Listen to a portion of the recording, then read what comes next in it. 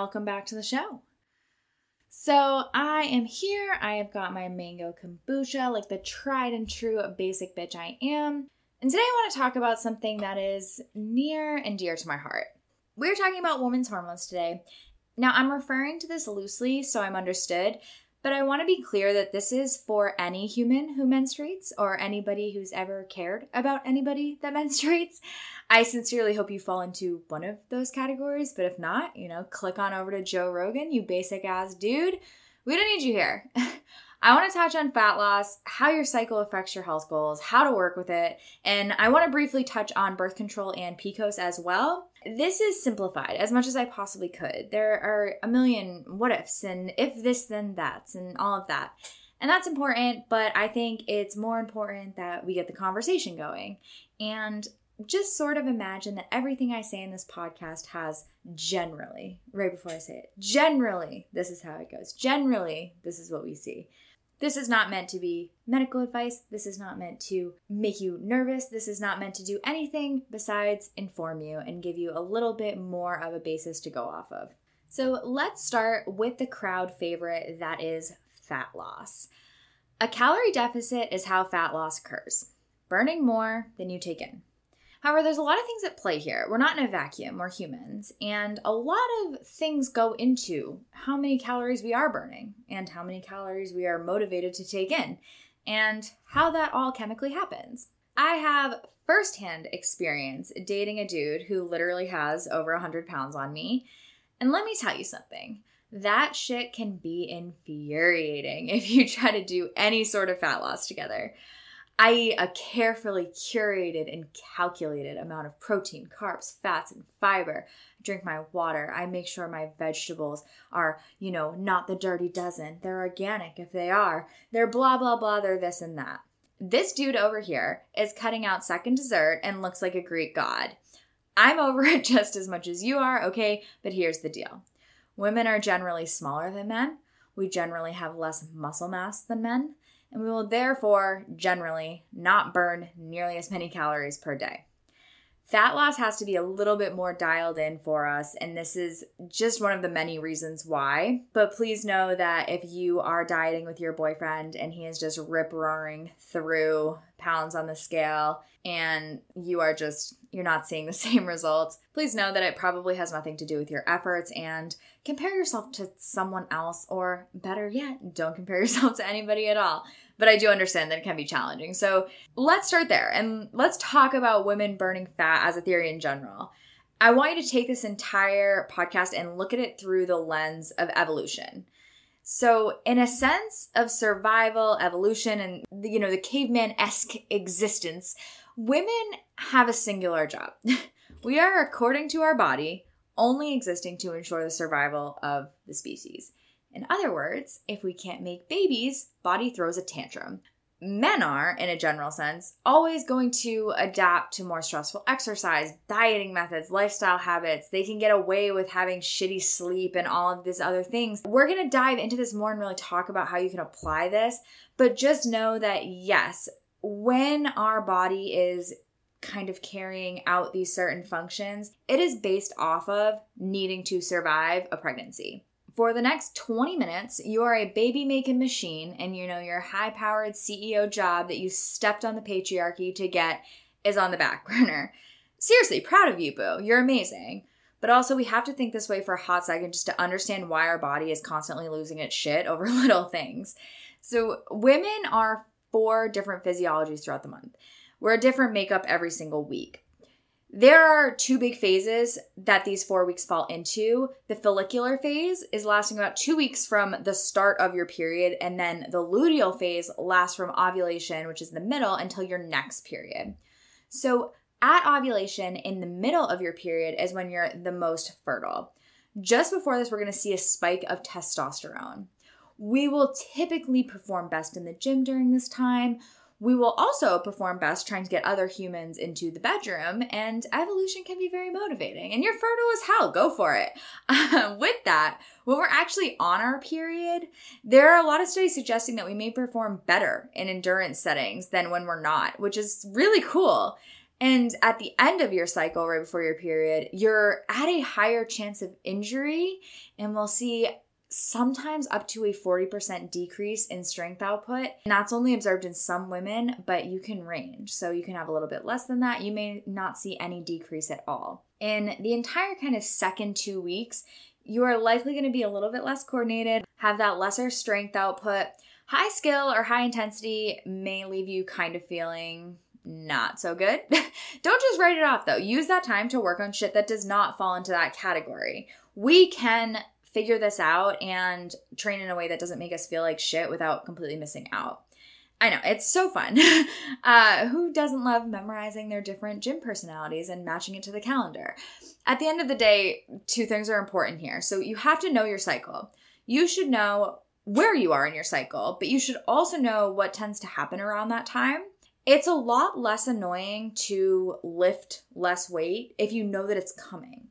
And secondly, with that, you want to use that information. I know damn well I could eat the whole house 10 days out from my cycle, like clockwork. I have to be prepared to give in a little within reason so I don't accidentally eat my boyfriend if he's on my path to the chocolate because I am on a rampage. But I know it, I know it's coming. You can't compare yourself week to week in progress measures, in scale weight, in anything comparing yourself week to week is not only driven by short term data, which is going to give you more fluctuation and the less kind of trending overall picture anyway. However, if you compare yourself week one of this cycle to week one of your next cycle, you're going to get a lot more accurate depiction of what is going on with your progress markers than if you compare week to week and you're someone that does fluctuate quite a bit. The bottom line, you have to be in a calorie deficit for fat loss. But also, there are a few ways that we can make this a little less violent for those around us when we're doing this with consideration for our cycle. So, some women, a lot of women, will do totally fine. Just normal fat loss phase, you're sort of at the same amount of calories throughout, especially week to week. Unless you plateau, then the numbers get changed, so on and so forth. However, some women will not do well this way they won't do so well doing, you know, an actual caloric deficit all four weeks of the month.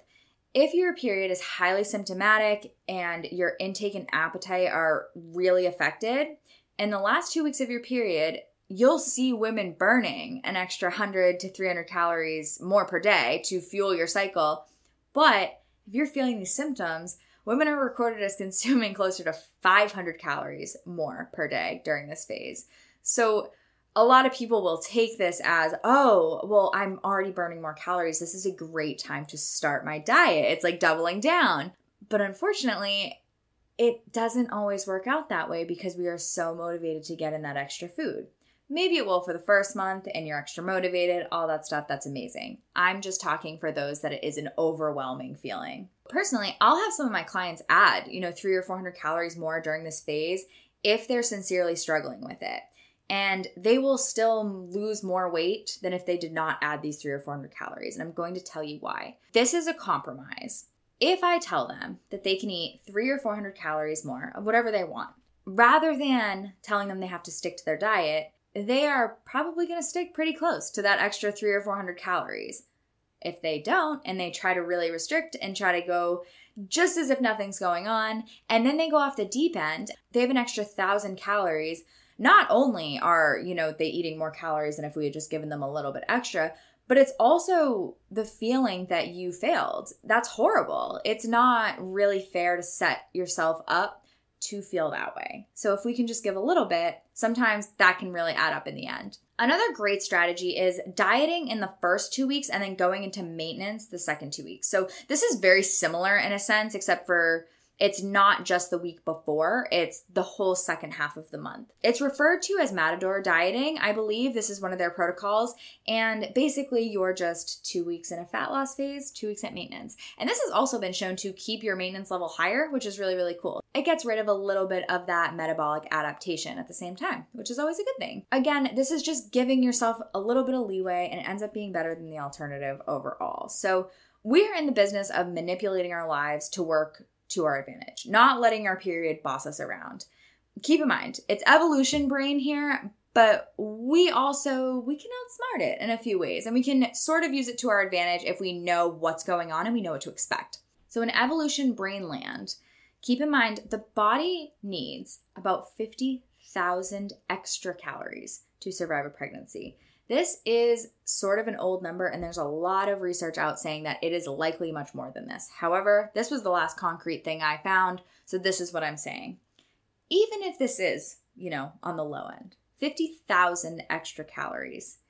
If our body feels like it's unable to support that, or it's unable to get those extra calories, it is not going to grant us a menstrual cycle where we are ovulating and things are wonderful. It's going to throw a goddamn tantrum because that's what it's supposed to do. Your body doesn't know that you're dieting, it just sees a lack of food availability. So, in our body's eyes, we're only meant to carry children. So, if we are in a famine, of course we're not going to get pregnant. We're not going to survive that pregnancy we have to let our body know that there is food available and that we are safe and all of those things. You can also still have a period and not ovulate. So you don't need to completely lose your period for your body to feel unsafe. And this should not be uh, some sort of measure of whether or not we're eating too little or training too much. It's not your get out of jail free card of, oh, well, I still have my period, so it's fine. There are some severely underfed women still having a period, but it's more than likely full of horrendous symptoms and it's probably really unpredictable. And you don't want to kind of live that way. You want your body to feel safe and happy because then it works with you. Remember this your period is your monthly report card. I did not coin this term. I don't know who originally coined this term, but I love it. I think it's amazing. If your period is the worst thing ever, something is off. It is not to say that something is off and it's your fault or you're doing something wrong. It is to say that something is off if your period is just ending your shit every single month or is missing altogether, there are some decent places to start as far as testing goes. So every woman has their normal cycle, but generally it should be about 28 to 35 days, about three to seven days in length. It shouldn't be massively out of that range. And if it is, if you're feeling a ton of symptoms, check your thyroid, get your sex hormones tested. You should definitely not be dealing with a doctor that won't order the tests for you if you are worried or have any issues going on. Testosterone and thyroid hormones are going to be big players in your cycle, so you can ask for those specifically. Testing, you know, prolactin, follicle stimulating hormone, estradiol, luteal hormones, not a bad idea either. The more complete of a panel you can get, the better. You should ensure that you're not dealing with some sort of insulin resistance problem that can really screw with things. And even looking into some gut health reassurance is not a bad idea either. SIBO and, you know, things like that can really throw our whole body for a loop. Get testing done. Yell at your doctor. Again, play my annoying ass voice in their peaceful office, and I promise you they'll order the test just to get you to go away. so then we move on to the lifestyle factors. So make sure you're not sleeping like shit. Don't eat out of plastic whenever you can. Use makeup that isn't spelled wrong on the label. You know, just like kind of get it together a little bit. Lifestyle factors are so massively underrated in helping to ease symptoms. And if you just put an ounce of effort in, a lot of times for most women, that can be all it takes. Some women, yeah, you're gonna have a pain in the ass time and you're gonna have to be near perfect with these things. And that sucks. But for a lot of us, it doesn't take too, too much effort. If you have no idea what I'm talking about, go listen to the basics episode, fix those things, and have a happy Shark Week. With that, there are some amazing resources that I will list in the show notes that I really recommend as well. So, okay, you're bored, I'm bored. Well, we're to move on. I want to briefly, briefly touch on PCOS, and I want to be abundantly clear that I am not a doctor. I am not diagnosing your ass with anything. I want this to be put out there so if it sounds familiar, you can go to your doctor and you can bother them and they'll order your blood work for you because you have something to present to them. Fat loss with PCOS is not only different, but it's much more challenging. PCOS is polycystic ovarian syndrome. It can reduce your BMR a lot. So, your BMR is your basal metabolic rate, and those are how many calories you burn to exist, just to keep your body kicking, not die it can reduce your BMR by up to 40%. That is a lot of calories that you are not burning through. And this is going to make fat loss significantly harder. If you are burning up to 40% less calories, your calories in versus calories out are going to look a lot different from someone who is not dealing with this.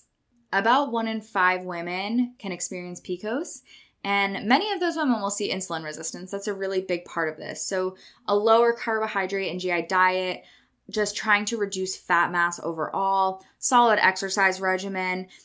It, they're all great to manage symptoms. However, it's not something that's easy to manage, and I don't want to say this lightly because I feel like it's just thrown around. Oh, you have to lose weight and exercise and eat healthier, and that's just not doing anybody any good. PCOS can also not just be diagnosed by an ultrasound alone. You should be asking for further testing if your diagnosis is solely riding on an ultrasound. So typically, we want to see at least two out of the following to be diagnosed formally.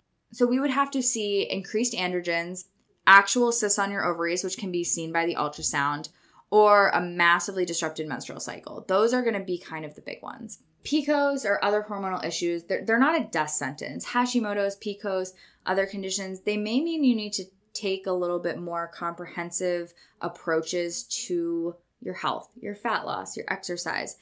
But it's absolute bullshit that you are destined to be overweight or feel like garbage all the time.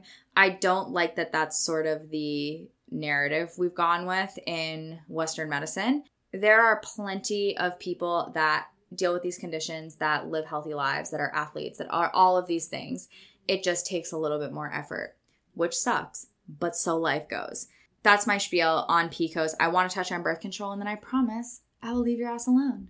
Overall, birth control is something that is prescribed for a few reasons. Number one, you don't want to have a baby. Wonderful. Number two, you present pretty much any symptom of puberty, of being a woman, of anything like that, and your doctor hands it to you. If you are informed and you are using birth control knowing everything and just you really made an informed decision you decided this is what I want, amazing. Get it, girl. I am 100% behind that.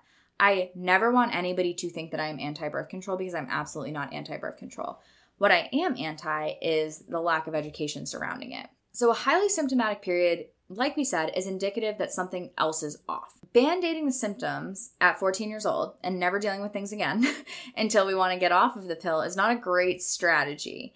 And this again changes. If we've really gone through things and decided that weighing birth control as an option is the way to go, amazing we still need to manage certain things. For me, it was 100% worth it to not throw up from pain every month nor have a child at 16. Weighing birth control versus trusting a teenage boy was a pretty easy decision on my part. Now, it's not as worth it to me. So I transitioned off and I deal with it. I deal with the things that have come back as a result of not being on it. It's give and take. So I was put on birth control at a pretty young age. Again, horrible cramps. And my mom is like cool as fuck and she didn't like ban me from it and say like you're never having sex and all of that. She was super cool. So I'm sure she asked questions and I'm sure she had a much better handle on what going on the pill meant than I did. However, I didn't know anything. And I was incredibly lucky. My mom is awesome. She would go to bat for me no matter what and ask any questions for me that I ever had. But not everybody has my mom, which makes me really sad because if you are just a young girl and you don't have someone like that that's in your corner that is going to ask the question and is going to be a little bit more confrontational and get more information, you're just sort of taking it blindly. That's not really fair. I think it's irresponsible that doctors will just sort of throw birth control at really young girls without letting them know that this is a major decision. I was on it for a decade and I only really learned about it in the last two years I was on it. That's crazy. The biggest thing was I was not aware that I was not dealing with organic hormones. So when I was trying to fix my hormonal health, I didn't realize that I was dealing with synthetic versions. They're not the same. Like you don't have a period on birth control. You have a withdrawal bleed. You cannot approach your hormonal health the same way as if you are not on hormonal birth control. And that's okay if you know that if you're informed, making the decision for yourself and only yourself, I'm good here. I have no qualms. And I think it's an amazing thing that we have it. How cool that we have birth control available to almost anybody. But making those educated decisions is extremely important. And I really, really believe that. I really, really, in my heart of hearts, believe that. I have a feeling that I will probably do a specific birth control episode in the future. But for now, if you know somebody that could use this podcast, please share it with them. If you know somebody that maybe is dealing with something like this, tell them, let them know. I appreciate you more than you know for listening to this crazy, crazy episode. I tried to pack a lot of different things into this. So if you have any questions, you can always reach out to me. I have like a million different medias. Go in the show notes, whatever you need to do. I'm more than happy to talk to you about this. I love you all. I will see you next time. Bye, guys. Mm-hmm.